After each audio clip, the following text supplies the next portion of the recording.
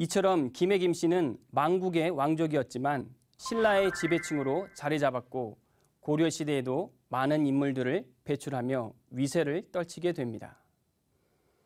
하지만 조선 시대에 들어와서는 많은 어려움을 겪게 되는데요. 부호사화를 비롯해서 많은 정치적 사건에 휘말렸기 때문입니다.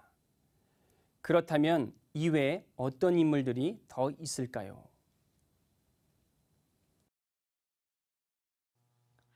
조선시대의 물론은 김일손이 있다. 김일손은 영남 살인파의 중심 인물로 연산군 때 성종실록을 쓴 사관이다. 강직한 그는 사초에 훈구파의 거두인 이국돈의 비행을 적나라하게 기록하고 스승인 김종직의 조의 제문을 실었는데 이것이 발단이 되어 최초의 사화인 무호 사화가 일어난다. 조의 제문은 진나라 말 숙부인 항우에게 살해당한 초나라 의제를 조문한 글인데 선왕인 세조의 단종 시해를 중국의 사례로 비판한 글이다.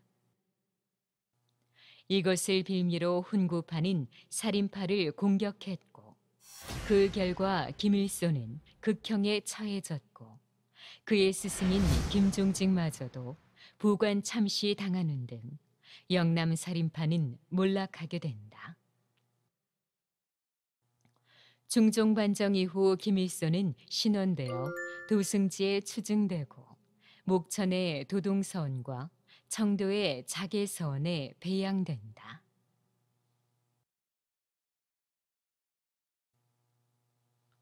조선 최고의 화가 단원 김홍도. 중인 집안에 태어난 그는 7, 8세 때부터 경기도 안산에 있는 강세왕의 집에 드나들며 그림을 배웠다고 한다. 스승 강세왕의 추천으로 일찍이 도와서 화원이 되었고 영주의 어진과 정주의 초상을 그릴 정도로 당대 최고의 화가로 자리 잡는다. 김홍도는 회화의 모든 장르에 능하였지만 특히 산수화와 풍속화에 뛰어나 많은 작품을 남긴다.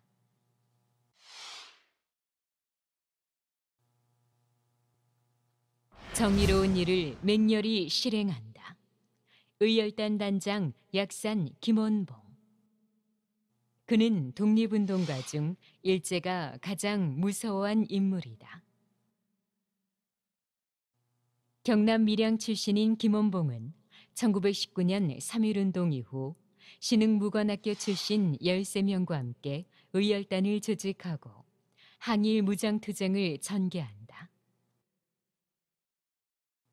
이후 의열단은 부산과 밀양경찰서 폭탄투척, 조선총독부 폭탄투척, 종로경찰서 폭탄투척, 동양척식회사 폭탄투척 등 맹렬한 활동을 벌이며 일제의 간담을 서늘하게 만든다. 이후 임시정부 한국광복군에 합류하였고 해방 후에는 남한만의 단독정부 수립이 본격화되자 1948년 남북협상 때 월북한다.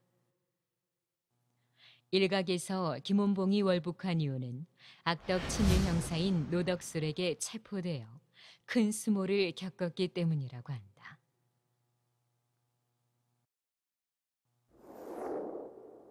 종교인으로는 김대건 신부가 있다.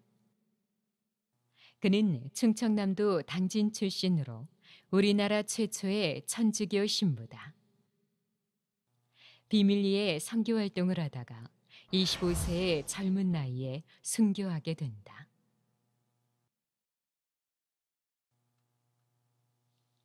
현대인물로는 김대중 전 대통령과 김종필 전 총리, 김명곤 전 문화관광부 장관과 김영란 전 대법관이 있다. 연예계에는 가수 남진이 김남진으로 김혜김씨고 영화배우 원빈도 본명이 김도진으로 김혜김씨다.